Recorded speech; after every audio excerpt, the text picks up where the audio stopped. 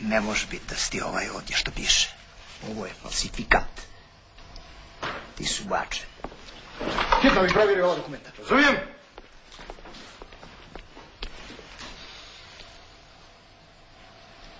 Nisi imao sreće, prijatelju, kad si na mene naletio.